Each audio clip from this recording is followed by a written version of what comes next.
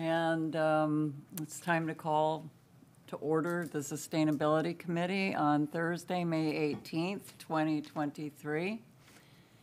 And um, before we have roll call, there were um, requests for excused absence, and that was from Karen Gallagher. So um, do we have a motion to excuse Karen Gallagher. I Gallagher? make a motion to excuse Karen. Second? Second. Um, All in favor? Aye. Aye. Motion passed. And um, Jennifer Bracy has also asked for um, an exception for tonight. Do we have a motion to I excuse her? I move to excuse Jennifer Bracy. Second. All in favor? Aye. Aye. Thank you. Boy, that was easy. Yeah. Could we have a roll call, please? Yes. Uh, Chairperson Denise Menino, Here. Vice Chairperson Dory Lassam, Here. Member Carol Mickett, Present. Member Taylor Mandaloo, Here. and alternate member Robin Singer. Here. Thank you. Cute. All right. We're on a roll, as they say. So has everyone had the opportunity to read minutes from You're last number month? two. Hmm? Oh, Public comment. Approval of No, minutes? she's, she's good. We- Don't we need public comment? No? Oh, the minutes, sorry.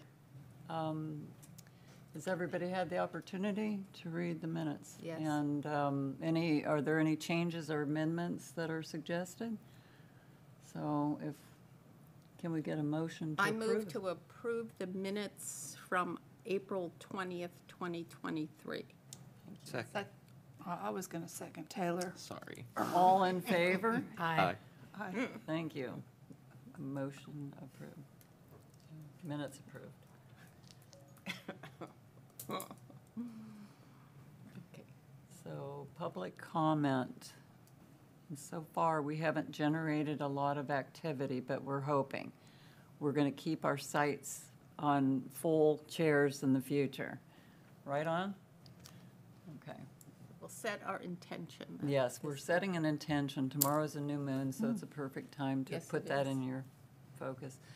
Okay, um, tonight, we have the very exciting um, opportunity to review the second um, update of the sustainability plan, and I'm excited to see it, although I've gone through it already and thought it was beautiful.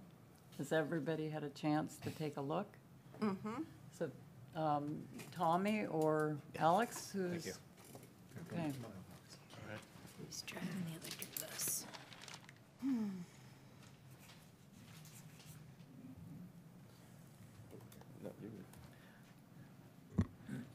Tommy Kiger, Assistant Director for Public Services. Um, What First did you one- say your name was? Tommy? Did you say Tony Tiger? Tommy Kiger. Oh, I Sorry. heard Tony Tiger. Been my name my whole life. Um, but Like uh, Frosted Flakes. yeah, so uh, I just want to first all acknowledge, uh, you know, we're, we're filling in a little bit today. Uh, Robin uh, is unfortunately not available. She's uh, out with an illness, uh, but she'll be expected back for the next meeting. So uh, we're going to try our best to uh, give you all an update on the sustainability plan, and uh, as well as some of the other items. And as we move through the agenda today, we might uh, there's there's a few that we might have to defer. Um, but that being said, uh, Alex has been heavily involved in the edits and revisions to the sustainability plan, working in close coordination with the rest of public services, other departments, and with Robin in particular. So we're going to let him uh, take a stab at providing some of the updates on the sustainability plan from our last meeting. thank you. Oh, I do. Oh, here, I can drive for you. Okay.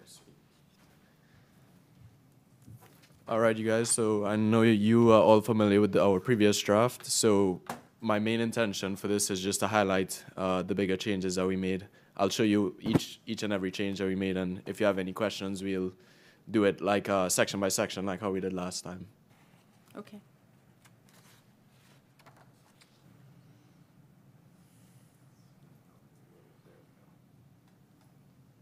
So to begin with, we had no initial changes up until the executive summary. So the first few pages remained virtually the same. We did have some changes to the table of contents due to our formatting changes later on, Okay.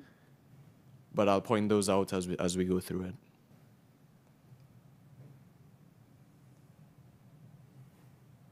Yes. Um, on the Sustainability Citizen Advisory Committee.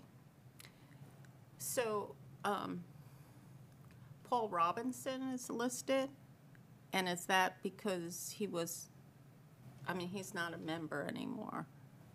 But he Um, was involved for a long time. Yeah, is that why he's in, I just want So- clarification. From what I understand, uh, I don't know Paul, but from what I understand, he did have some input in the beginning stages of this plan, and so that's why I would assume that he was added And here. I would suggest there that we list Denise and give her a title. Everyone else in the different categories have a title. So maybe she's the chair and D- Dory's the vice chair. And I would suggest that people get listed in alphabetical order. um, Or something.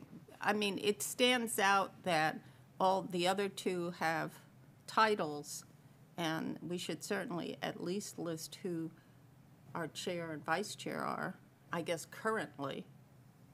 And then, because Paul was vice chair when Dory was chair, um, maybe that's why it's listed with Paul second. But I think maybe, and then maybe the rest of us just should be in alphabetical order. Okay, noted. Uh, I can point out that at least uh, the lower section, those are departments, not actual titles, but um, definitely take that into consideration. Yeah, we can consider that's an easy update to make. Yeah. Then everybody will know to, c- when they want to say anything, that they'll contact Denise. Should it be, uh, should it be, since we're going down that road, what would you call it, like initial chair, Dory Larson, initial vice chair, Dr. Paul Robinson? I don't know, I mean, it's like, it's confusing because mm-hmm. some of y'all are still on it, like current chair Denise Menino, current vice, current vice chair, something like that, but then it gets kind of tricky. I think probably what we would do there was just list past chair. Yeah, You know, past that's- chair. that's Pretty typical. And then when we have new, I mean, because we're gonna have new members and people coming and going too, so we don't wanna keep changing it and changing it, right? So mm-hmm. maybe it's okay just like it is, just the, the list of the people. You maybe just put former or current. I, I'd like, I think it's important to know who the chair is and the vice chair. So do you think former chair, former vice chair? I mean, Well, I would ask some opinions i- inside the city, because I didn't, it didn't bother me at all that it was listed this way. I just know that we've all been involved with the process through the time that it's taken to write the plan. But taking um, Carol's feedback into account, maybe we need other opinions um, on what the protocol would be, or maybe even look at other plans and just take a s- a look. I think probably what we'll do is we'll, we'll take that into consideration compared to other published documents from the city and follow the convention that's been, been established. And if there's not a convention, we'll err on the side of, uh, you know, listing titles, uh, per your feedback. We know that every committee has a chair and a, vi- I mean, it's part of the rules that we have to have that. Um, I mean, just looking at this, the assumption I would make was Dory's the chair and Paul's the vice chair, since they're listed first. But that's not accurate. No, but also if we change it to alphabetical order, that should mitigate that issue as well. yeah, I think alphabetical's a good choice. with titles for them. Well, we also had a former member who, um, before Carol joined us, who sat with us for, I don't remember how long, maybe. Oh, yeah. Was she here for a year? Right, Should we list her as well? that's correct. Yeah, well, if you're gonna list mm-hmm. Paul, you probably should, right? I mean, I guess that's the question. Do you want to just list the current members or the people who all mm-hmm. participated? Okay. Who was I think that it's fair to person? say. Uh, I, sh- I drove her every, to every meeting, so I should really remember her name. I can picture her. I can see her face, but I can't remember her name. I- Somewhere. I've seen It'll your come to me moments on the of them. drive home. Well, I think we should move It's in the along. minutes. Take these and, and feedback into consideration, but keep the ball rolling here. Yep, yep, definitely. Thank you.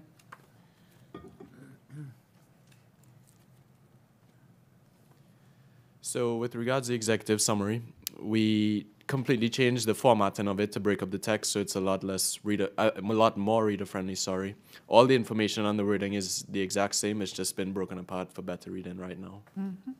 So much better. It is. It's vi- everything visually was Thank you. really Appreciate clear that. and beautiful. Yep. Much better. No changes to the introduction. No changes to the strategic plan. Although you might note as we go down the sections that each title has now been uniformed, so that you know for consistency's sake.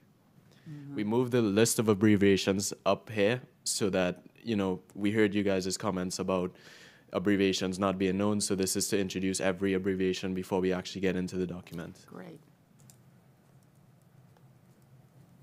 And there were no real changes to the guide as well.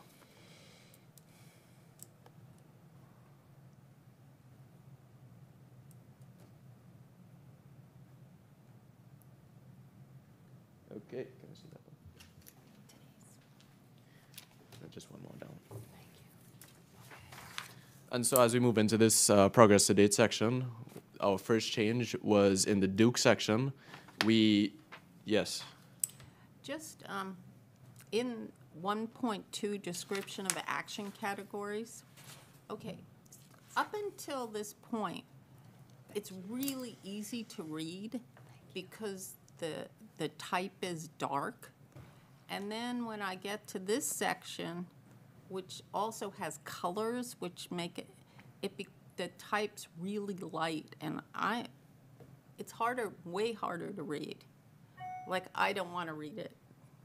Okay. And so if you can, and it's a thinner type, it, it may be Helvetica or something. It's like very thin. So I think readability, noticing that, as soon as I got to this page, I went. So- Okay. I think Understood. it's Would because they bol- emboldened Yeah. um, a lot of the terms that are going to be live links and Mm-hmm. online, right? Correct. Um, well, the, the bold terms are just uh, for the glossary at the end. Okay, just, just, just one note on former member, um, Dory found her name is Judy Nelson. Okay, Okay, thanks. thank you. So if you could just think about that text, that would be helpful. Okay, noted. Um, but yes, like I was saying, uh, we changed the first point in the Duke to be more personalized to Tarpon Springs. Before it was uh, general statistics about Florida. Now we made it specific to Tarpon Springs, so that's good.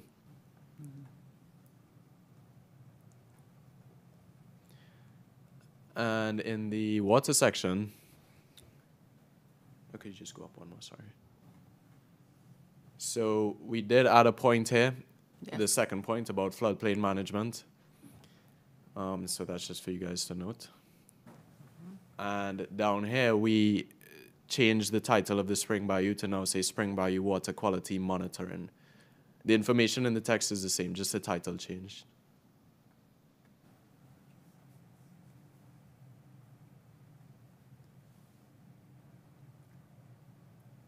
And then on this page, just a small change was the, uh, we changed the icon at the bottom, not a big deal. There was a little typo um, on, I don't know whether we've gotten to that part yet. It's watershed management plan, where it says Klosterman um, focuses. I don't know whether you see it, it's, it has too Here many it is, S's. yes. Okay. It's under spotlight, yeah. Thank Thank you for One that. with this icon on the bottom. Page 17. The water. Okay, thank you. Thank you. I got the whole.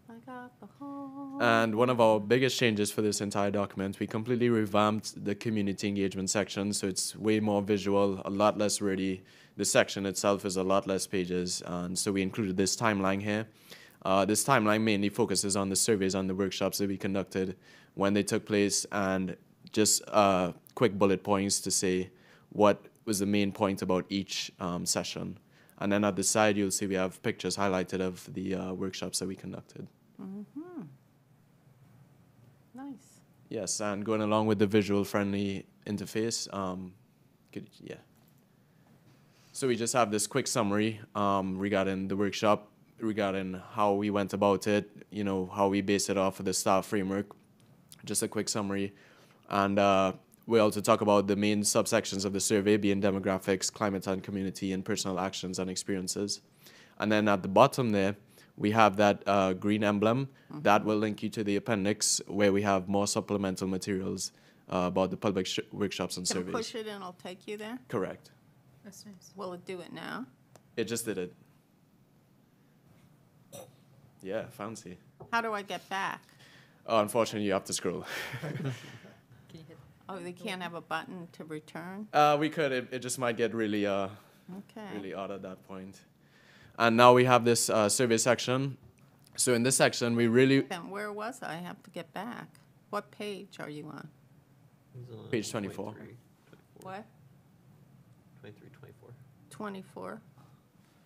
I have to scroll all the way back. On the bottom of the page, just do the number. Where? There's page numbers on each of, I see that. I'm scrolling up.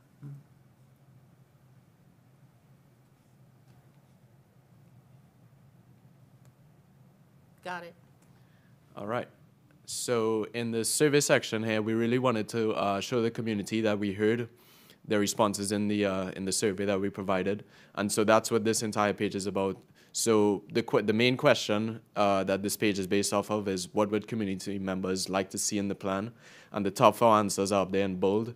And we also have the word cloud to present all the other answers, and of course with the word cloud, the bigger the answer is, the more uh, votes and responses that it receives. So this section is basically to let the public know that you know we heard you and we're we're doing something about it.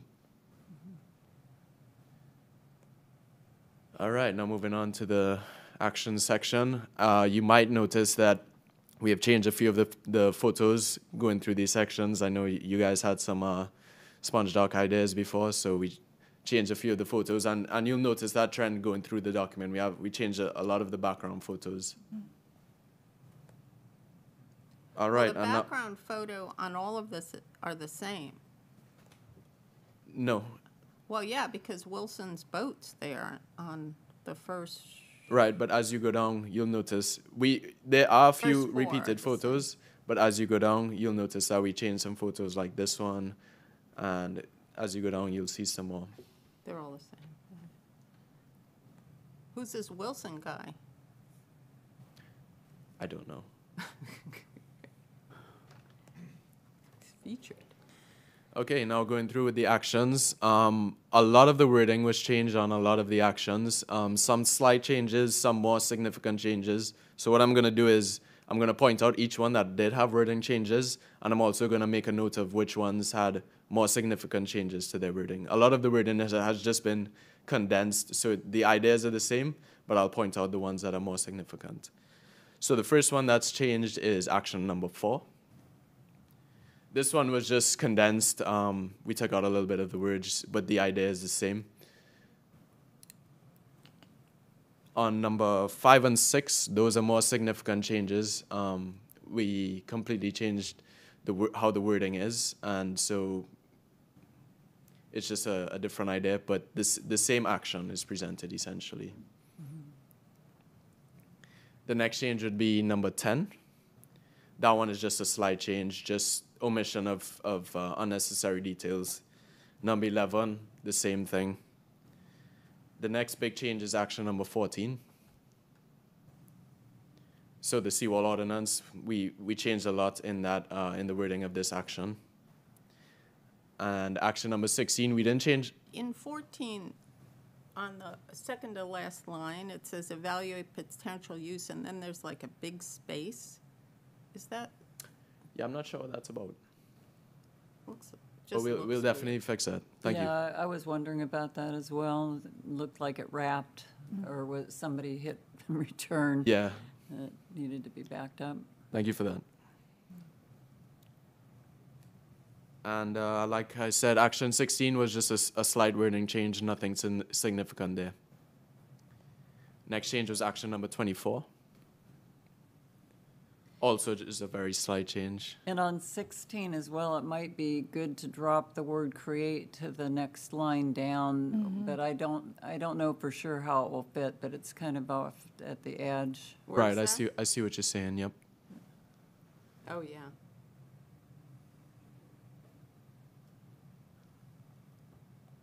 And action 24 was also just a very minor change to the wording, nothing notable. Next change was 25 and 26. Tho- These were both big changes. Instead of bicycle and pedestrian, we changed it to multimodal master plan now. Um, and then action 26, instead of considering green stormwater infrastructure, we're going to make green stormwater infrastructure a core goal of the city's master plan. Next change was number 28. And, you know, building off of that same idea, making green uh, infrastructure a core goal, so we, we changed this whole action wording to, to reflect that. Robin? Yes, thank you. Thank you. On uh, action number 30, I would uh, like to see adding, it says, seek funding sources to help reduce costs for residents and business owners to implement green building practices such as installing solar panels.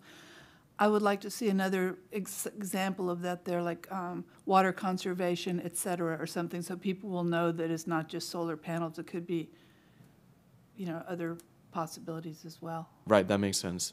Definitely. And with that being said, 30 was also one we made uh, significant changes to, so some more changes to be made.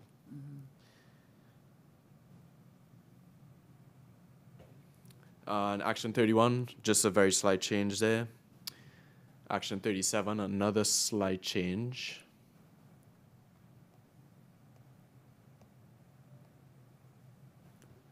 And 38 and 39 were more significant changes that we made. Um, if you guys want me to actually point out the specific wording changes, I can do that as well. But um, as you can see in 39, we did not have the uh, Cops and Kids building idea in there before. Now we have it. So, and then action 41 was also a significant change. Could you, would you mind going through the the Yes, definitely. So, with action 39, was it? You said Yes. thirty-seven too. 37 as well, sure. So with 37, before we had partner with community organizations to maintain an inventory of civic organizations, neighborhood associations, and local service providers organized by geography or neighborhood, which can be used to address neighborhood-specific needs. So you can see with that one, we just deleted uh, organized by, no, not a big deal. Yeah. And then with number 39, previously we had provide young people with opportunities to participate in civic activities. Now we have utilized the creation of the Cops and Kids building to create the new programs to provide the young people with the opportunities. So just a quick pretext to the initial idea is what we added on. Yes. I, uh, related to that, one kind of key theme through any of these items is we did try and make an effort to tie this back from like more general items uh, to if there's a specific city initiative that's already ongoing that addresses that sort of item, we wanted to tie it back to existing city programs so it makes more sense like where this goes within you know, the city organization, the city's existing programming. Thank you.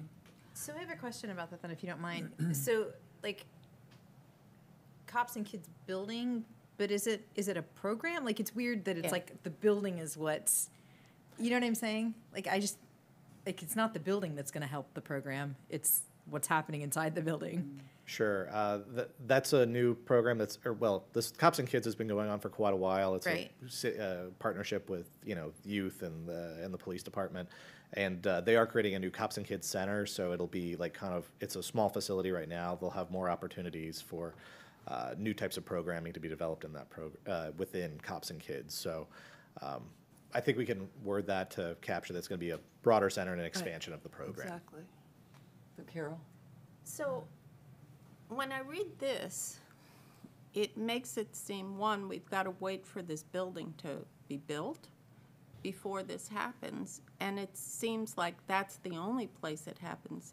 It seems to me, if we're going to help young people, young people not being children, but like 20-year-olds or something, to develop them into leaders so that they can sit on committees that I think putting them in the cops and kids building seems strange. I would think you'd want to hold the classes like here so that they can be in the building where leadership takes place and not in some off off building um, where it's not about leadership. We're, we're trying to create leaders.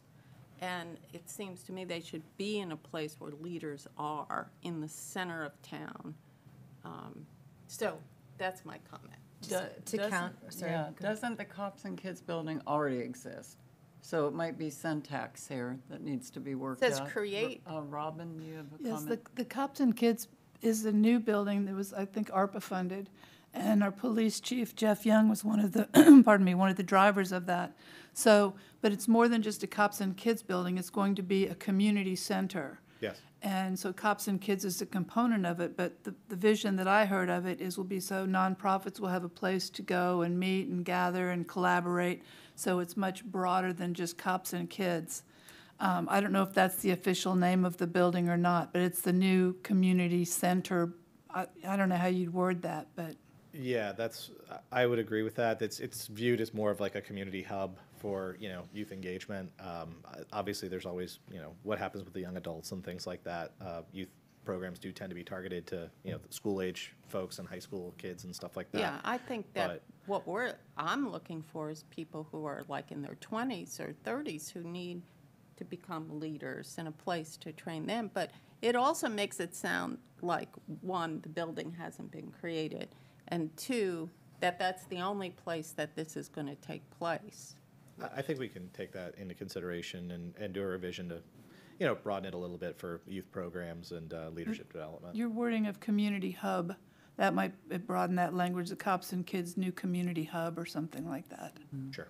And I just, to, I, I think that it is wise, though, to have programming like closer to the community, because it may be kind of difficult for some people to get to City Hall, you know what I mean?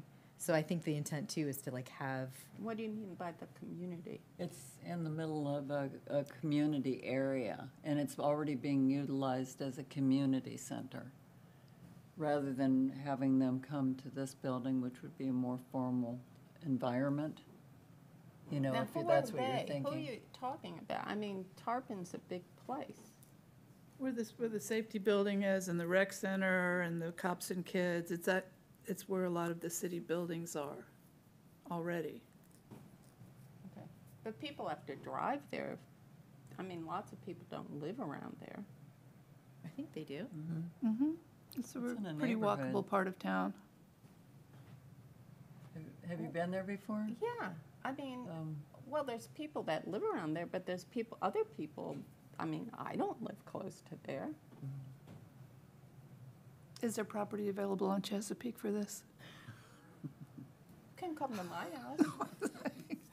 I think it's, you know, this is where the, the city had the property to, to create this thing. So they're looking to have a broad community hub for the social service places. People can have a uniform place to go for social service agencies and providers and residents and community members.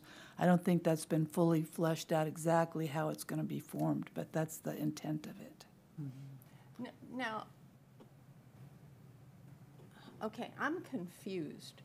So, so when you say the neighborhoods there, the community, are you seeing this program as focusing on the community, the African-American community? Is that the focus of this?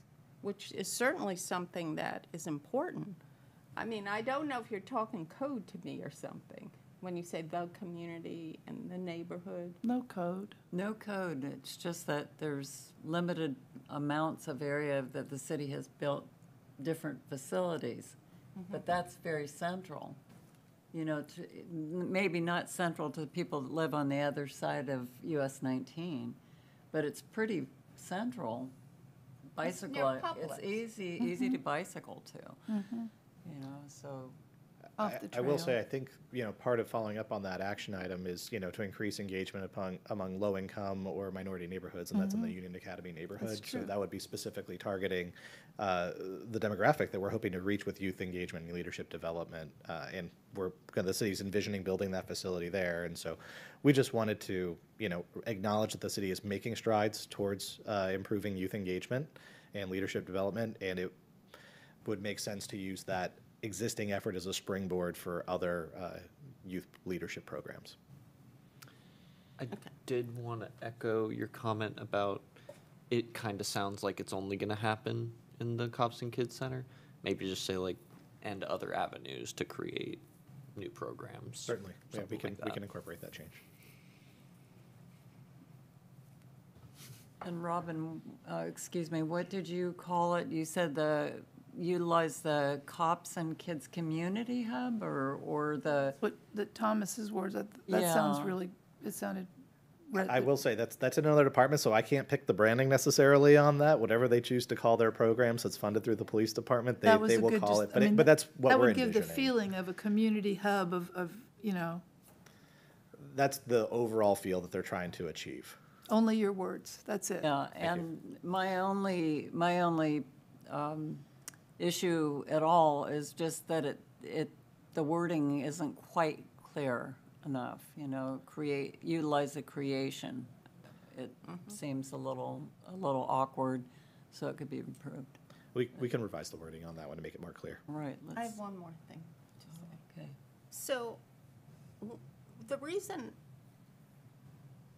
I'm bringing up different locations is, for example, when I did the Citizens Academy, you know, every week you went to a different place throughout the city and you met at a different place. And it gave you a sense of, one, learning about the city, and that we belong there. And I think that um, that that's really important. That if you're going to develop leadership with the with the youth, who maybe haven't felt welcome in the rest of the city, that you you expose it, you bring them to these places and and give them a sense of ownership that you own this city, just like everyone else who's in leadership.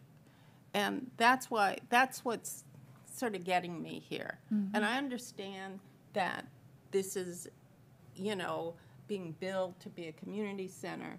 But when you're developing a leader, you want them in the community. There's the Heritage Center, there's the, the new thing, there's the City Hall, there's all types of places around.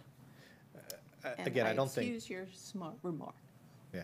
I, I, I don't think we were envisioning this to be limiting, that we would only ever do, you know, community like engagement or leadership development out of the future Cops and Kids facility. I think we just want to recognize that this is an existing ongoing effort to focus on that, the city's dedicated funding to, and that we would use that as a springboard for a larger set of youth So maybe leadership the development language initiatives. Needs to be I think we can make some revisions to that to make it more clear. you.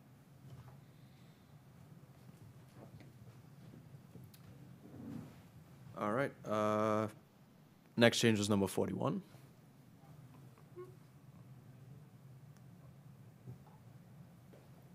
Whenever you get a chance, scroll down.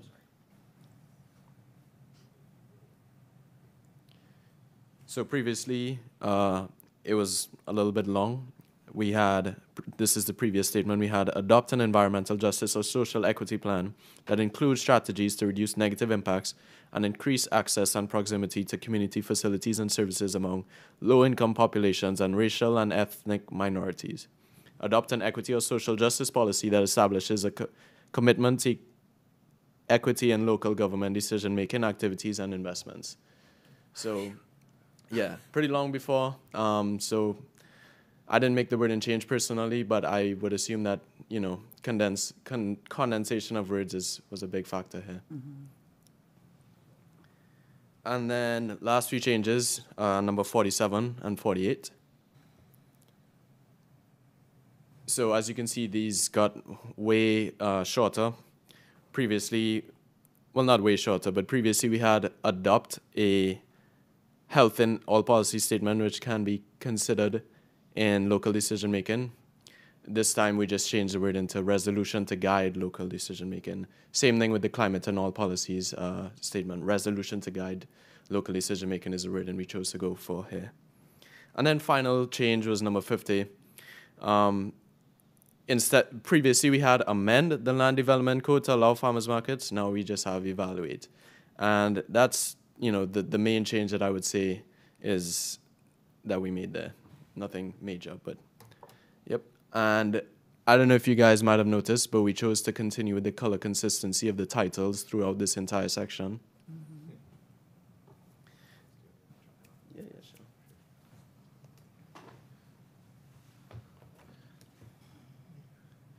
And uh, So The- I have a question. Go ahead. Never mind, I'm not going to ask it. Okay. Um, So the next, this was a somewhat major revision. Uh, We were trying to keep an eye on brevity and, uh, you know, readability for the overall document.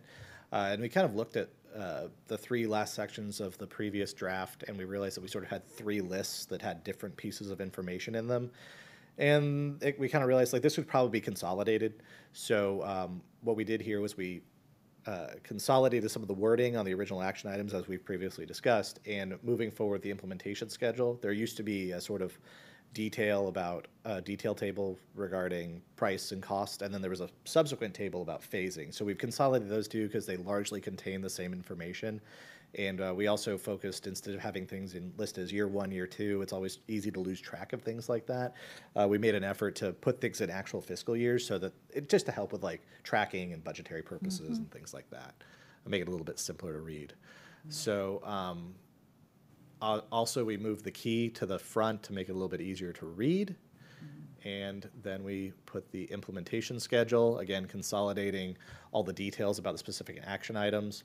Uh, we kept the action items number, but also to make it a little bit less wordy, we had sort of shortened action item titles um, to put more information in a simpler format. Um, yes. So in this, um, the text part, that uh, font is different than the one you use up in all of the other narratives.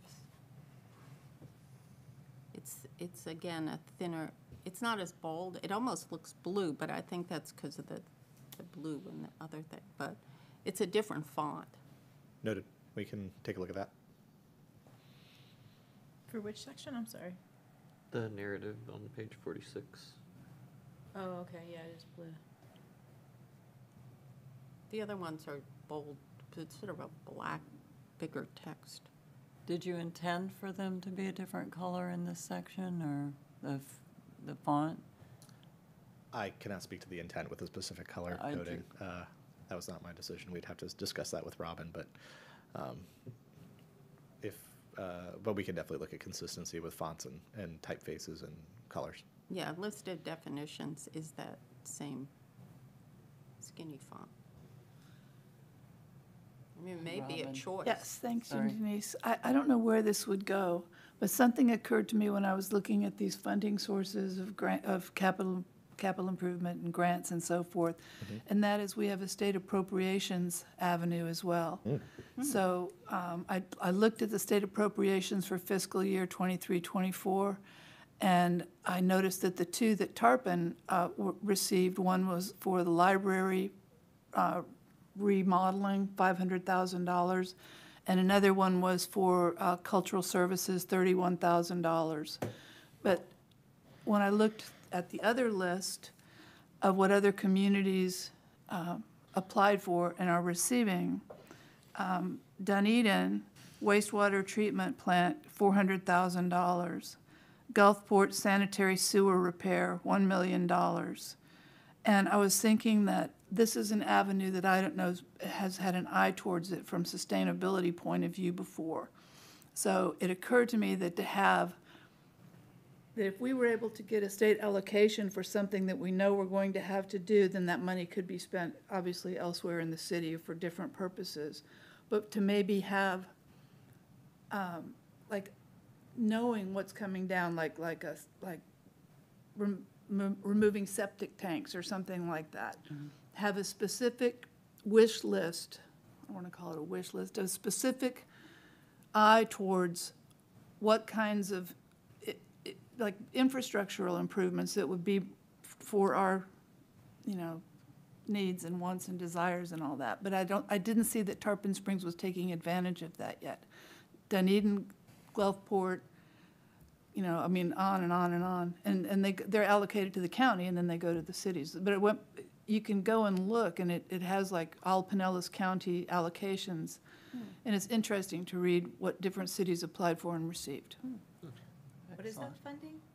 It's a state allocation, it's a state appropriations, state appropriations. So if you look at the, the, um, just go state of Florida appropriations 2023, 2024, and you can see what all got asked for and what applied, but a lot of them dealt with more than just cultural things, or, I mean, museums and Creative Pinellas and, you know, the Dunedin Fine Arts Center, I mean, a lot of those types of things are funded, but there's also significant dollars going towards more infrastructure, things that we could really mm-hmm. put, put money towards in the city.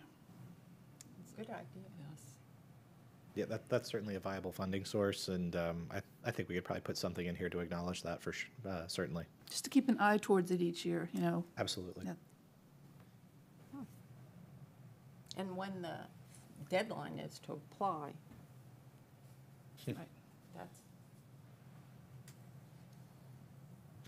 Okay, so um, as you can see here, this table has been revised. It is listed uh, in, not in order of action items, but in order of implementation year. Um, One thing that we did a lot of work with other staff uh, from other departments was trying to align our goals with existing initiatives uh, to make sure that we're capturing, um, you know, existing initiatives that are ongoing within, uh, you know, the action items. So, for example, uh, any of the action items that were related to land development regulations or the municipal code, the building code, um, knowing that we're, that the planning and zoning department is in, in the process of updating the comp plan, which will, uh, create, uh, updates to the municipal code, we decided to consolidate all of those action items that related to the code into, uh, twenty twenty-four, for, within, you know, within reason. Um, that way, once you have the code open, it's easier to do a whole suite of changes than to keep coming back like every two years with additional code revisions and things like that. Uh, so that's one example of how we used existing city plans and initiatives to uh, inform the, the schedule for implementation. Uh, another example would be the, um, I believe fairly early on in year one or year two, uh, we had some of our um, items that related to the existing tree survey. So we included that. That's ongoing right now with the city arborist, so we tied those together. Um, the other kind of guiding principle that we looked at was um, implementability. So any items that were sort of develop a plan to be additionally implemented over a number of years, we tried to put those towards the front, knowing that it might take time to fully implement those plans. We didn't want to have a 10-year plan and create a new action item plan in, in year nine. There would be no opportunity to implement it. So um, the uh, one good example of that would be the climate action plan. So we know that that's going to be a long-running program for the city. So we put it in year one because uh, we know that it'll take a number of years to implement. Yes. So I'm going to echo what I said last time, that action number 32, sustain existing and attract new cultural and artistic creatives, which you have in 2032. Now, that's a long-going, ongoing plan. Mm-hmm. that you don't want to leave to the end. It should be in the beginning because you want to attract these sort of creative thinkers who bring um, good things to the community, innovative ideas, participation, um, creative thinking, innovators. It's the sort of citizen you want, and you don't want to wait. You want to have that right away. And we have an art committee that can help do that. Um, we have a sustainability, that's how you help to sustain. For example, the things you remember about Rome and ancient Greek is the art. You don't remember, except for Rome, you do remember the sewers. But, um, you know, the things you remember in history are the grand cultural innovations. So you want these people, and it's not just about making art, it's about a whole way of being. So I'd really suggest, once again, that 32 should be up near the very top of the list and implemented in 2024. Thank you. We, we knew that, um, obviously, we can't put everything in the first five years, so we knew that whatever we put towards the end, we were likely to get comments on, on it as being, you know, certain committee members' priority, so we'll take that into consideration when we're doing our next round of revisions. Thank you.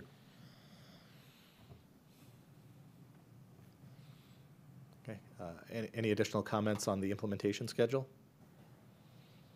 I don't see any of them being as, as soon as next year. Were there? Yeah, Okay. they're all Oh, I see. 2024. Oh, I do see that. Yeah. I'm sorry.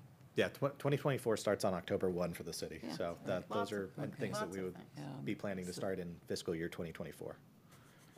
Okay. It starts October first of First. twenty-four? I'm sorry, of 2023, I misspoke. Uh, So yeah, our, our That's fiscal when year runs. twenty-four Oc- starts? Yeah, the fiscal year runs October 1 to the following September 30th. Okay. So uh, when we, when we generally use fiscal years for, you know, budgetary purposes. For example, the, uh, we'll get to this a little bit later in the, today's agenda, but the climate action plan is uh, currently a budgeted item that we've requested uh, for fiscal year 2024. So that, that aligns with the schedule for implementation. Okay. Next, we have the list of definitions.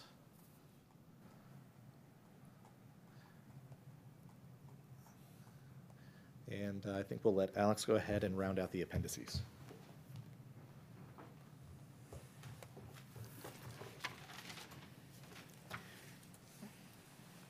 All right, and so first thing about the appendices, we added a new appendix just for the table of figures, since we our only figures technically that we are calling out in this document are in the appendix. So we designated appendix one. Could you just go down a little bit?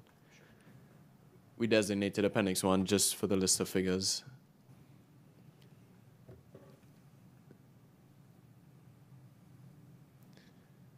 And then in appendix, yes. It's a sort of strange title, list of figures. Um, They're figures of what? People who, numbers of participants? Is that what? No, so the, the figures are what you'll see later on in the, I believe it's appendix three. With the uh, surveys, we have charts and tables, and that's what these are referring to. Okay, Yeah, you, you'll you'll see it as we scroll on, but uh, yeah, there's there's just a couple charts and one table that this is referring to. okay. In appendix two, we made List of figures mean list of charts or list of images or something like that? no, well not they wouldn't they I'll wouldn't wait relate to photos, but they would relate to um, charts that we created essentially, and tables that we created and, and added in. Okay. So when I hear list of figures, I think numbers. I'm going to get numbers, like figures.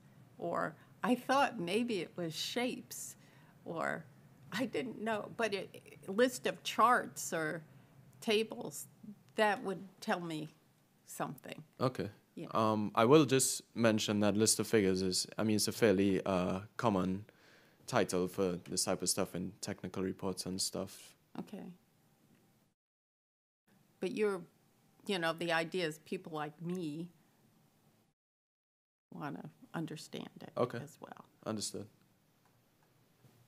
In Appendix 2, we didn't make any changes besides color coordinating each section to match. Nice. Appendix 3 changed a lot. Um, a little bit more down. We, uh, for the public workshop section, I don't know if you guys might recall, but in this section, after each, um, you know, separate subsection here, we had different bar charts and, and so forth. We decided to omit all of that and just keep it short and simple for this particular section about the workshops. And we included a separate word cloud down here, um, also pertaining to the workshops. And we also, you know, condensed the survey section as well. We took a couple of the survey pages that used to be in the main document, brought it down here. So we have this word cloud, uh, considering the question that we had asked before. And then we have the summary of survey results that you guys are familiar with, highlighting each subsection and what they, what they mean and how they responded. And then, you know, we have the entire survey down here. Nothing changed here. Mm-hmm.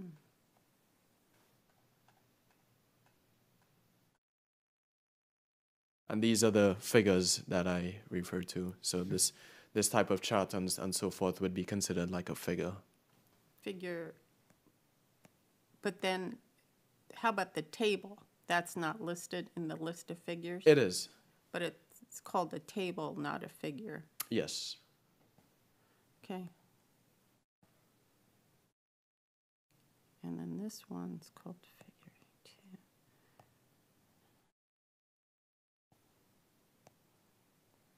So yes, this was our final figure right here. We just just the three figures to call out.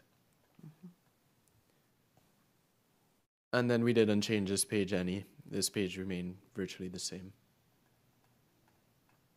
And the only other change that we made here is in the reverse osmosis facility section. We added a bullet point about the DEP Environmental Stewardship Award that we recently received. And if you'll note in the second paragraph, we added a couple sentences just to expand on that idea a little bit. And that is more or less it for the changes, besides the one uh, text box uh, change in the greenhouse gas summary report that you guys pointed out last time. We amended that.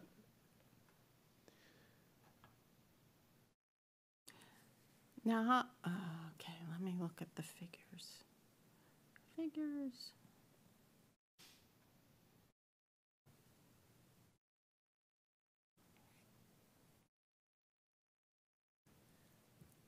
Overall, I was really excited that the plan looks so much better. Thank you. I So thought much so as well. more cohesive and clearer, clearer to read and to absorb um, the organization of all of the sections and the interfacing to the um, strategic plan. Everything, everything seemed so much more refined. So you've done a lot of work in the last month, and I really commend you for all of the changes that you've made. They've been um, made it a lot, enhanced it a lot more. Thank you, everybody. Thank you. Appreciate you you guys' comments as well, because that's what, you know, obviously drove us to make these changes. There's a um, figure or a table on page 82 that's not in your list of figures? Uh, the greenhouse gas summary. What? Yes, uh, no, that, that makes sense. Um, initially, we just had, you know, essentially transferred the actual summary, greenhouse gas summary report straight into this document without making any changes. But that's a good point, and so we'll take that into consideration for sure, because these are also counted as figures. But yeah, thank you, everybody. But it Thank r- you. really is, as Denise said, I mean, the presentation, it makes such a difference. I thought so as well. Yeah. Okay.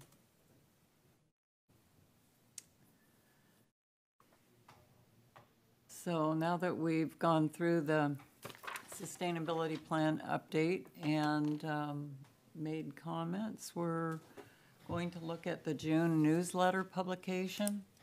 Really sorry Robin couldn't be here for this, but Tommy is going to do an awesome job. And this is one item, you know, knowing that Robin's been heavily working on this, if the uh, committee elected, we could uh, defer this to the, to a future meeting um, and uh, publish the, the newsletter in July. Rob and I briefly were able to discuss that this afternoon. Uh, Or if you, the committee would prefer, uh, you're very welcome to review what Robin's provided in the backup. And uh, I'd be happy to take any comments and forward those to Robin uh, for consideration. Uh, One important thing to note is, uh, schedule-wise, we do, if, uh, unless the board elects to, or the committee elects to defer, um, we will probably, this will be the last time you'll be seeing uh, this item before it becomes published. So we want to hear what y'all would like, what the committee would like to put in the newsletter or any comments on the materials that Robin's proposing. Uh, And then she's going to take that and develop it and go ahead and pu- go straight to publication uh, is the current schedule for implementation. So what are your thoughts? Do we, should we look at this tonight and? Yeah, I think we should look at it Yes. tonight for sure. Oh, Yeah, I think we look at it and if we want to push, then maybe we can. Yeah. So can we please go through the items that she is looking at pr- producing with a newsletter? Certainly. Sorry. Uh, First and foremost, the goal, the, probably the primary goal of this newsletter will be to introduce what, what the newsletter is. This is the first one, so uh, there'll be probably a healthy amount of introductory uh, material, sort of like your first issue of any new magazine. You know, welcome to X Magazine, and this is what it's about. Um, Same thing for the newsletter. Uh, Also introduce the purpose of the Sustainability Committee and how to engage, hopefully drive a little bit more public engagement, maybe get a few more folks showing up to the meetings. Um, There'll be a recap of the recent events such as Earth Day, Knowledge, Knowledge Nibbles, let people know what sort of programming the sustainability program is putting on for the public. And uh, also some other important updates on the Vulnerability Action Plan uh, and the uh, Sustainability Plan, uh, letting folks know that there'll be workshops coming up uh, in June and also about future programming for EcoFest in September. And um, there'll be some sort of sustainability fact or you know factoid related to Tarpon Springs and our environment. Uh, we heard you loud and clear last week, uh, last month when we were talking about that. You know, tell us, help educate folks about you know the environment and sustainability in a uniquely Tarpon way, and um, also contact information. So, uh, I think Robin's goal is to have this be concise, informative, engaging the public, and um, you know focus on driving folks to our future programming um, and getting folks engaged with sustainability. I think the time is now. Okay. I mean, that's my vote. I, you know, that I think that we, we're talking about things that we've just done. You know, we celebrated Earth Day. It was a lot, a lot more substantive than it had been before. Mm-hmm. And had the opportunity to do Knowledge and Nibbles. Those are, have just happened. So in order to be on top of it and be timely, it seems like it would make no sense to delay it till July, so that's my thought, but what does everybody else think? Yeah, I had that same thought. Mm, Robin? Yes, I, I think, think that the sooner the better. I had some, some thoughts about the newsletter that I'd like to share, and, Okay. and that is the idea of bringing the community into the process, to drawing people into it, right? So I thought the invitation to serve on this committee should be there, let people know that there's a, a way to do that, and, and maybe a link to the, where they can look online to sign up for that but also a spotlight on businesses or even individuals, residents who have done anything. If a restaurant switched from styrofoam to compostable, that's a big deal. So that they can have a spotlight on them and encourage others to do the same. Mm-hmm. Or if a neighborhood does a neighborhood cleanup or something like that. So to, to take it from this big down to the community level and so that people will be like, I want, I'd like to see my thing in there too, you know, I, I, whatever it happens to be, but, um, or bus, yeah, businesses, residents, whatever. Um, those are my thoughts. I really like those. I think that's the best way to motivate businesses and residents. To sh- give, give a little examples, you know, here's an example, doesn't have to be really, for example, well, here's an example. I, I love our hospital, but I was there today and they're using styrofoam and this and that. Or even if they're making a transition to using more, you know, that, that this particular business has made a commitment to go to, you know, compostable things or recyclable, whatever, you know? Yeah. Carol? So I agree completely. Um, One of the things that we know from Disney is that people go to Disney because they want to see Mickey Mouse and they want to see the characters. One of the reasons people follow sports and on the sports page is hmm? because they know the players, right? I can tell you all the Rays players. I can tell you, okay, who's this? right? We all know Arena, right? and we know what color shoes he wears. So one of the things um, that we know, and I've done programs on this, is that people engage with characters. They want to know who are the people in Tarpon. And one of the things each one of these can do, like focusing on a business, is also fo- focusing on a person. So it'd be really cool at first to focus, go through the committee. So Dory, for example, has a really cool job, right? And she works with electric cars and she does that. It be, you know, here you come to our meeting and you see Dory Larson and she she like does this cool electric car thing and this big environmental thing. That's who's on this committee. And so I would suggest that a little spotlight on a person. And then, you know, once we know who committee members are, then we go maybe to our, to the staff. And we go to a person in the community who's very active. Mm-hmm. And one of the things that that does is it gets people to know people. Oh, I mean, you know, you know, people stop you on the street. Aren't you this person? Because they've seen you and they've known about you. And that's one way of building engagement and community and getting people to interact. Yep. So I would say do a spotlight on that one over there. Or somebody. Or somebody. Somebody. Yeah, but you have a really cool job and it fits so well with this. And all of us do. Well, maybe um, introducing the Sustainability Committee can, you know, we can introduce everybody, but also do a spotlight on mm-hmm. each person mm-hmm. that's uh, part of the Spotlight on a committee. business, on a sustainability Yeah. person, a spotlight on a resident or something Oh, I like think that. that uh, that's a, that's a really positive way of bringing everybody together. That's really good feedback. That will Uh-huh. definitely, We could also ask, Under like, if you'd consideration. like to be highlighted, like, you've got a Florida-friendly yard that you'd Yeah. like to show mm-hmm. off, or. Mm-hmm. Yeah. Oh, yeah. yeah, Yeah. a nomination know process someone would be who does ideal for that. that, yeah. Yeah, there's a lot of, there's a Yeah. lot of them right in the historical area even. Mm-hmm. Florida-friendly And there's tons of landscapes. butterfly people Right. that, Yeah. you know, I mean, that's really interesting, all the different pollinator plants and where you can buy them and how they attract the different species of flutterers.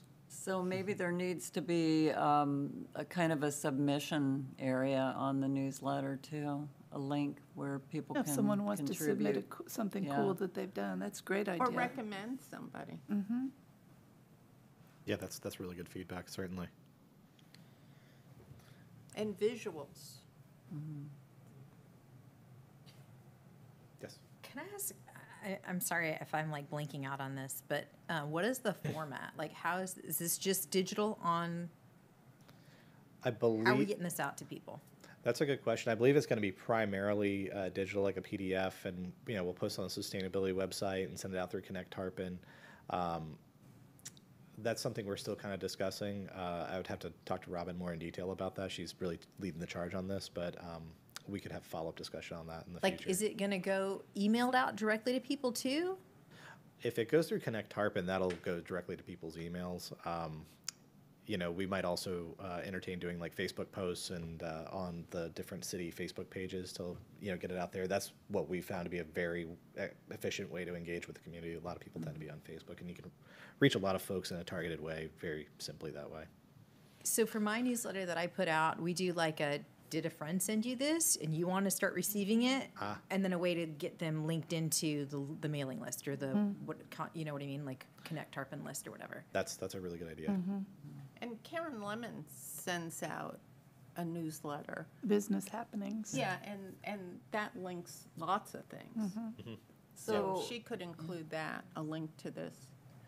Of, of the ones that are, on- we have emails for, what percentage do you think that that is of the general public? I mean, in comparison, doing something that was just a single-page newsletter in the utility bill on recyclable paper Uh, I, I really couldn't speak to that. with Uh, soy ink, so that we don't get attacked for not being sustainable. That's that is a, a you know an open question with any sort of sustainability initiative with outreach is you know how much paper do you want to make? Yeah, Um, right. Too much paper. We, I don't think we've had that discussion yet. I- That's true, but the, you know, I think Waste Management puts them in there, and we have, we did send something out, but that was the only complaint, was that it was not on paper that could be recycled. Just to initially get people on board. Sign up on Connect Tarpon, and get these, this is newsletter regularly. Okay, I, I can uh, discuss that with Robin, and we can uh, evaluate our options as far as you know how to get it out there. Okay. Anybody else have any more feedback on that?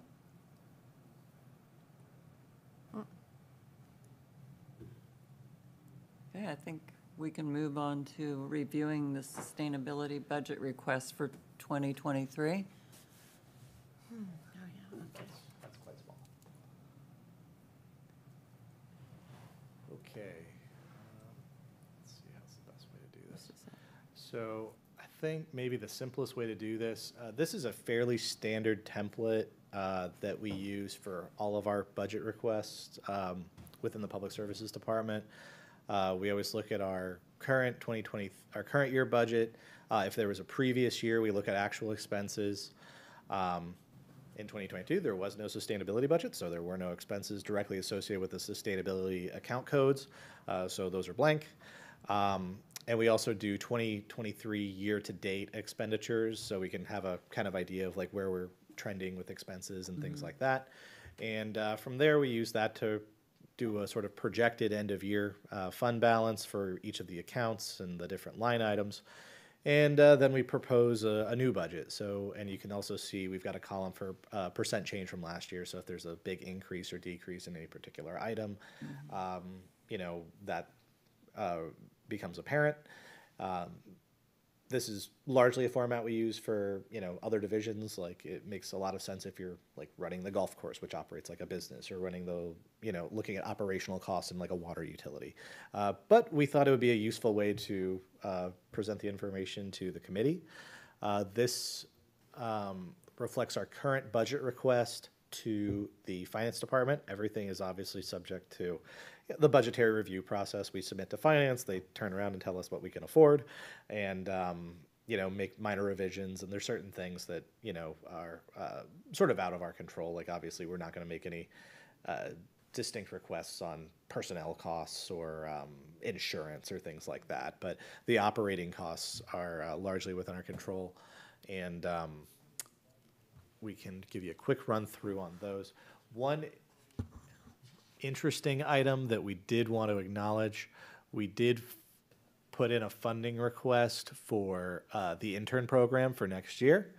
Um, So we budgeted that at 40 weeks of interns uh, at $15 an hour uh, based on 20-hour weeks. So we're anticipating probably two interns, a fall fall semester intern and a spring semester intern. Uh, unfortunately, Alex is graduating, so we'll have to have a new one. But hopefully, we get someone uh, at least close to as good as Alex is. And um, but we definitely envision that as sort of an ongoing program long term uh, to continue to bring in uh, folks in sustainability programs in local colleges to get some real world experience and also really help out a lot. So uh, that's that's a high priority in the budget. Uh, we've also budgeted $150,000 in our request for the climate action plan. That would also include the uh, energy efficiency study, which looks at like energy efficiency and solar availability. Those are two different action items, I believe, within the sus- the sustainability plan action items. So they're going to be rolled into one study for budgetary purposes, and it makes sense to probably have one consultant per- perform both of those at the same time. Look at what we can do on energy efficiency and also climate action plan, and tie those two together as far as implementability. Uh, going further down, there's some I, there's some costs in there for Robin's travel for various resiliency conferences, mail, cell phones, things like that. Uh, there is some professional printing in there for the sustainability plan, the climate action plan. We do want to have a few hard copies for folks that like to have hard copies and for presenting at public workshops and things like that. Um, promotional activities is a, a big one. Uh, we've got a budget request of nine thousand dollars for promotional activities. Uh, there will be a staff sustainability promotion focusing on improving sustainability within the staff. Uh, we're still, Robin's still thinking about what those, what that might look like. Uh, also, there's funding in there for Earth Day next year and additional promotional items and educational materials for the other events throughout the year. You know, either uh, you know, knowledge and nibbles or um, touch a truck and all the other city engagement that she's planning. And um, she's going to get some additional storage for her office. Uh, another interesting one, we did put in a request for five uh, EV charging submeters. Uh, that'll be important long term for the greenhouse gas tracking. Uh, it's very easy to track our emissions from um, the existing city fleet uh, because they have fuel cards and we can see how much fuel they use. But if they all go charge up and the, the electric stations for the city vehicles aren't metered, we don't. Uh, that all that electricity will be sort of thrown into the buildings and facilities category on our future uh, uh, greenhouse gas emissions inventory. So we wanted to get a little bit of uh, data on that to see like as we transition from fossil fuels to EVs, uh, what does that really look like, and are we capturing all of our um, greenhouse gas emissions associated with the future fleet, uh, which might have more EVs in it? Um, there's also some funding in there for two level two EV chargers for city facilities. Uh, no firm plans yet on where those are going to be sited. Um, obviously, we're in the middle of developing the new uh, city clerk's building, so uh, after that's completed, we might focus on that, or we might relocate them to uh, other city facilities that might have more EVs coming into their fleet over time. Um, books, publications, and subscriptions. That's largely the sustainability memberships for the city and for uh, Robin as our staff member.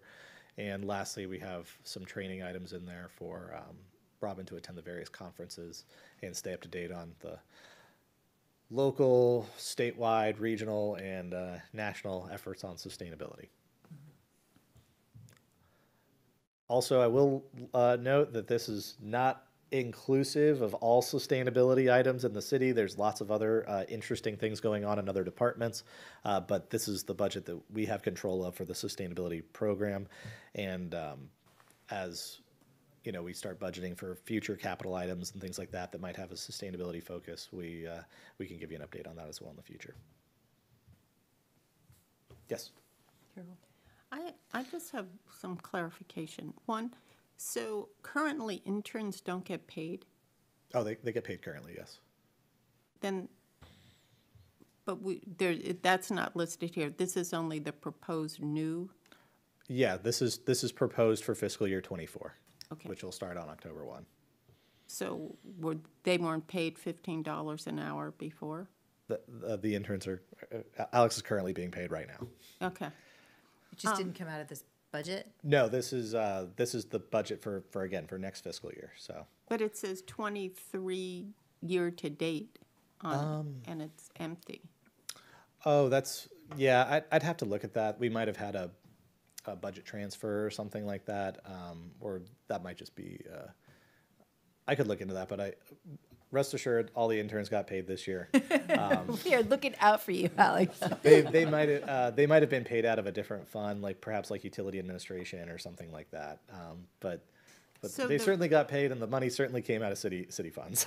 So the regular salaries and wages, that's just for Robin. yes. And um, so she, the proposed is she gets almost a twenty-eight thousand dollars a year. That's uh, that's a little bit of a misnomer. Uh, her this again, this is the part of the budget that we control, uh, and again, all all city staff are, um, you know, fully fully budgeted for their full salary for the full year. Uh, but Robin's position is split between uh, utility fund and enterprise fund and general fund, so that only reflects uh, half of her salary. So the other half is in the general fund budget. Okay. So it, it's, um, yeah, no, she, she's doing a little bit better than that. So when she um, does these other programs, Yes. like she does the promotional activities or she works on a, another project, does she get extra administrative costs or that is it just that she's salaried and that's all she gets? Robin's currently hourly, so that, that is one change we are making this year is we're increasing her budget for overtime. Uh, so when she goes and spends extra time out in the community, uh, we have the funding to support those initiatives. Good. She's hourly. Yes. Are you hourly? No. I see. So it's not a salaried, she's not a salaried person, she's an hourly employee? Yes. I didn't know that. Yeah, that's that's an interesting uh, distinction. Um, you know, there's there's different schools of thought on salary versus hourly. Um, Obviously, if you're salary, you don't get overtime. If you Right. do, you there's other benefits associated with being salary. Uh, that we could go back and have a discussion or revisit like how that was decided. But that's that's how the that's currently her position's currently programmed in the budget. And how how, what's the job description is. percentage in the city of, you know, managers of programs that are hourly? Is she the only one? I can't speak to that. I, I don't have that information readily available.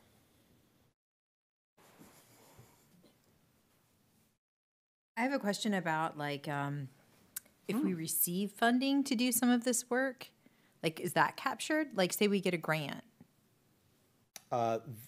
This is, there's no grants factored into this current budget request. Um, If we were to get a grant, we, that's usually captured through the budget resolution process throughout the year. Uh, The finance department will periodically take updates to the budget, to the board to reflect, you know, changes, you know, oh, we received a grant for this, or, um, yeah, for example, uh, the vulnerability assessment, uh, we received a grant. We discussed that with, uh, Ron Herring, our finance director. They went through the budget resolution process to incorporate that additional funding into that account and, um, you know, allocate that funding to that project. So uh, if we do get grants, uh, they would be programmed in, but we don't typically include grants that are not yet awarded in, in budget request. Okay.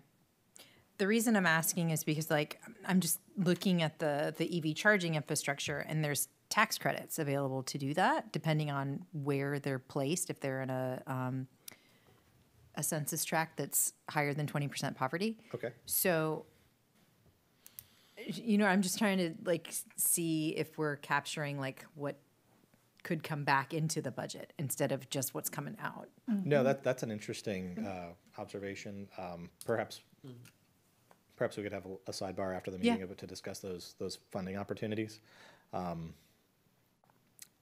And like there's energy efficiency community block grants, and I don't know how much the city's getting and where that's going. You know what I mean? Like the intent is for sustainable things. So like is that reflected? Is it going to be in this budget as like on the positive? You know what I mean? As the it's like an income instead of a Yeah, uh, yes, An so offset, perhaps. thank you. when we do have grants that have been awarded, um, you know, we will budget those as future income. Uh, you, uh, we, if you wanted, you know, we could have, uh, we could get more information from finance exactly about how that happens in the budgetary process. But, uh, yes, in the past, you know, we do, we typically would fully fund the project. We list the, the total project cost. Uh, if we've got, say, a 50-50 grant or a 50-50 match for a certain type of project, uh, that would be reflected elsewhere in the, in the income portion of the budget. These are focused on uh, projected expenditures. Okay. Because there's just lots more money that's Yeah. available, so.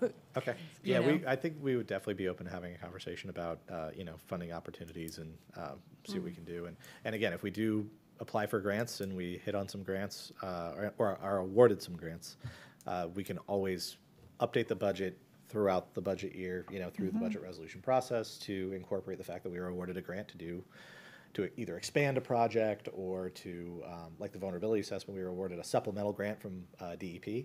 So we captured that and we expanded the scope of work for the vulnerability uh, uh, assessment.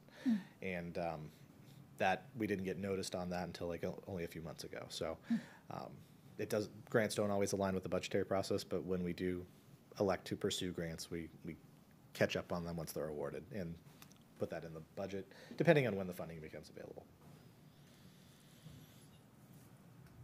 Interesting. Are there people in each department that pursue the grants that are applicable to the department, or is there one person that um, works on that? Just, The answer is yes. Um, there are folks in various departments that do apply for grants, and we also have a new position this year in the project administration department Right. uh, for a. I apologize, I'm probably going to butcher her title, but she's uh, a grant coordinator and project manager, some something to that fact. She does project management and grants. So um, she i she works for Bob Robertson, our project administration director, and she is going to be assisting other departments with grants and also continuing to look for grant opportunities for various various programs. And um, we'll hopefully have additional grant funding coming our way as she is able to go out and find those funding sources. Just a little, in this um, chart, in the life and health insurance, it's in red. Why is it in red? That's a good question. Um, that might that might be one of my highlights or something like that. Uh, this is a largely internal document that we mostly use for just making sure we get all our budget entries correct, and sometimes we highlight things because um, you know we don't have control over them. So like or something like that. Like some of the stuff that's grayed out. Uh, I, I really don't know why that's highlighted Okay. in red, but um, Because red usually means, you know, alert, or, yeah, you know, it's on fire, or, I don't know. certainly. Um, It's the only one. Uh, that is interesting. I, I'll be honest, I don't know what that means. I don't think there's a lot of significance to that uh, Oh, for our, our, our current fiscal year budget. And again, this is, this document's heavily focused on what do we need to budget for next year, and that's highlighted in end of year projected. Okay. Um, So, I, yeah, I, I'm, I'm not sure. It looks like that one might be slightly above the revised budget, so perhaps that was why that was done. You know, that maybe insurance costs went up slightly compared to what was originally budgeted. It's only a couple hundred dollars though, so it'll get resolved, uh, in the end of budget process. so, are there any more comments on the budget for 2024? When does this get approved? That's a very good question. Um, the next steps for the budget process, there'll be a public workshop in June, open to all, s- all local residents and citizens. And then there'll be a series of budget workshops with the board throughout the summer. Uh, I don't have the schedule right in front of me, but um, those will be publicly noticed, and some of them will coincide with uh, existing budget workshops. But the ultimate budget approval usually occurs in the late August, early September timeframe, in time to give, you know, the finance department enough time to input all this information in before the beginning of the fiscal year. So, late summer is when the final approvals typically occur. Okay. So now, um, we're going to re- debrief about Earth Day, which was awesome. Who is going to share on that? Oh, uh, I was going to ask if, if the committee would like to defer to that, since I was not in attendance. I had a family commitment, and perhaps Robin would like to provide an update on that. um, Okay. If, if the. That if it- would be fine. We can put that on next month's agenda. Yeah, and I believe you would have to have a motion to defer that item on the agenda. Do we have a motion to defer I defer make a motion to defer the Earth Day debriefing till next month in June when Robin is here. Robin Reeves. A second. All in favor? Aye. Aye. Aye.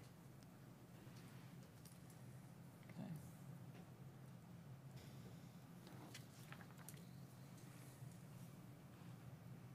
So we have have the review of the sustainability plan timeline, which seems like we're on track, right?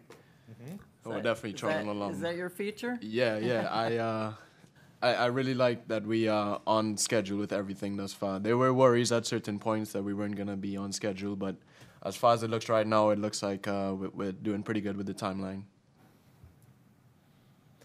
Uh, yes, the, the current plan for this, uh, is, this is the last time y'all will see the, uh, sustainability plan before it goes to our board. So, uh, Robin's been coordinating with the city manager, uh, regarding our next steps for board engagement. Um, as you recall, we, we didn't get quite the guidance we were looking for at our last, uh, board update.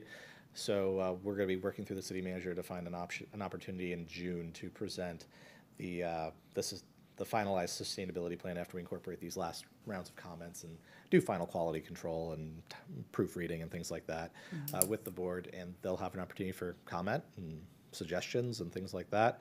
And uh, so that'll be occurring in June. Uh, will be the, the next step. And we're looking at uh, finalizing the plan sometime in, potentially in July, depending on what the board uh, wishes as far as if they want to see it twice or things like that. Though we always defer to the board on how they would like to adopt the, the plan. So I'm going to ask the question I wasn't going to ask before. Mhm.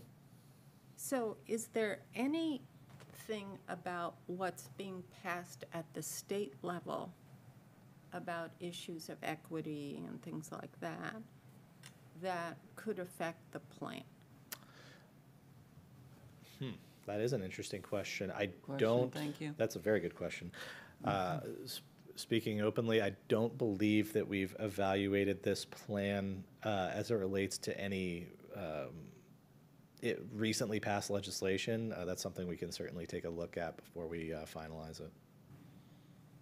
But that's, that's a good, good thing to consider.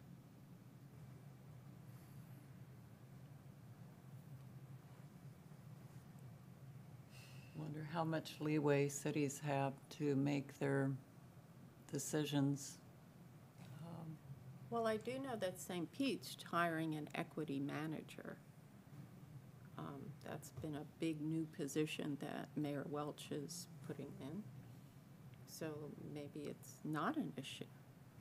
But it probably behooves you to find that out before you go to the Board of Commissioners. Or at least have, you know, something to say to support the plan in that regard, if it comes up. That's a, that's a very good comment. We, we'll take a look at recent, le- recently passed legislation and anything that's sort of pending and looks like it has legs and make sure that there's no conflicts or uh, that we don't, we're not including anything in the plan that's preempted or something like that, for example. I don't believe we have anything in there that's preempted from local governments currently. We do try, do our best, and we did a review with the planning and zoning. They tend to stay up to date on what's allowed within various, uh, for cities to adopt with like local ordinances and things like that. And we believe we're compliant with the law as it stands, but uh, bills change, so we'll take a look at that. Th- Very good comment.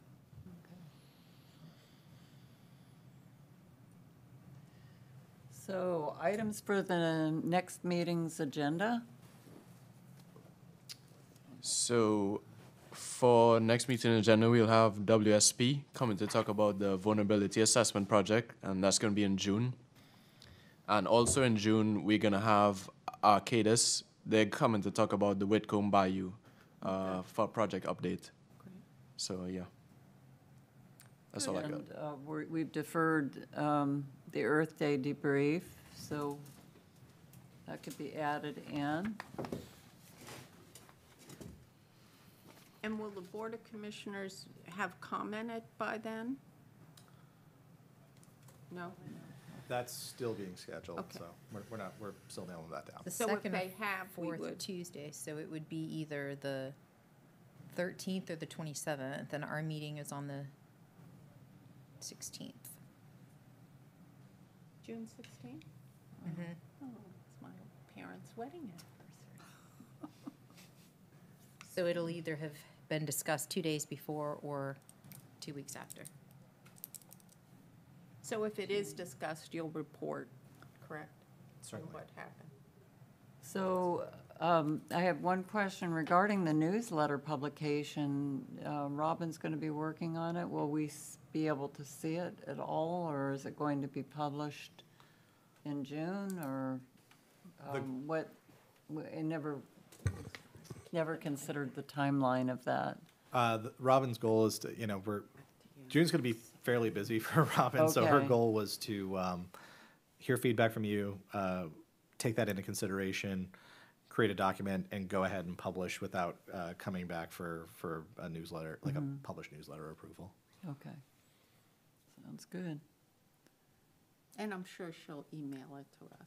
I, I can, I think you can all rest assured that you'll all get a copy. Okay. Are there any staff comments? Uh, Yes, I think Robin had a few things she wanted me to pass along.